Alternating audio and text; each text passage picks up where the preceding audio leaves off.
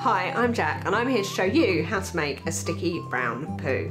It's inspired by the new Aardman Christmas film Robin Robin. Take a look at this. With crumbs in our eyes, and a coin for the middle of the sticky brown poo. Now I've got a couple of them here with me today. Got Robin and Dink. They've come to make sure that my pudding looks like their pudding. Now those of you who know me will know that I'm absolutely passionate about rescuing every little scrap of food, anything that could have been destined for the bin, making sure it doesn't go to waste and turning it into something delicious. And this is no exception. So we've got the ends of a loaf of bread and some crusts that have been blitzed up into breadcrumbs. Any old bits of dried fruit you've got kicking around in the cupboard and any nuts that you might have lying around. It's the time of year for it, so they can all go in here. I'm going to blend it all up to a batter so it's nice and smooth. So you're going to get all the goodness, all the richness of all your Christmas fruits and nuts and flavours, but virtually undetectable. You can see how those mice might have got confused.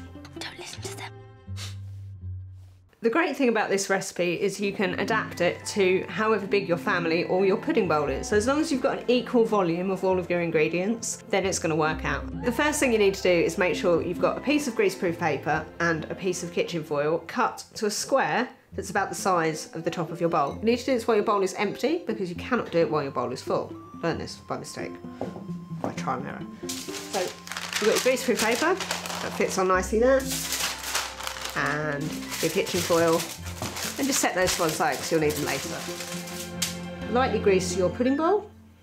So I'm just going to grease that there and set that to one side. So basically everything needs to go in here. First up, in go my prunes, and then figs, my nuts, some brown sugar. If you don't have brown sugar, you can use any sugar that you've got.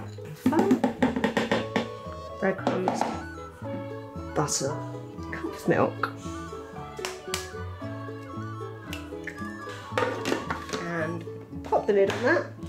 And basically just blend this. You don't want any bits in it. Oh, you want it perfectly smooth. We're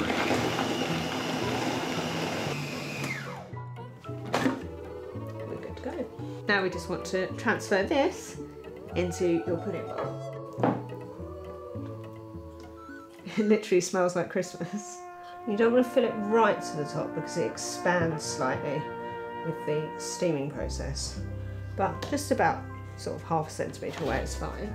Then pop your paper on top and your foil. You press those down really tight against the sides of the bowl and then I would string on an elastic band, just carefully attach them around edge bowl. There. Trim away any excess.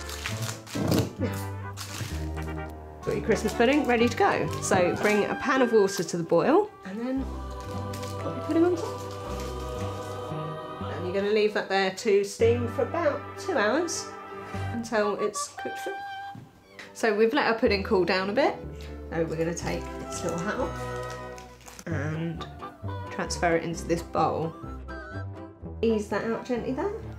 And I'm going to pop some chocolate sauce on mine. You can serve yours with whatever you like. Cream, ice cream, custard. This is just shop bought chocolate spread, just melted in the microwave.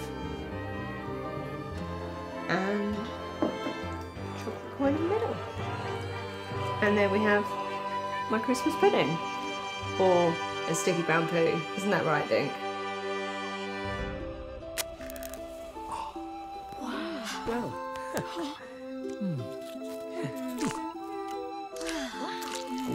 なん？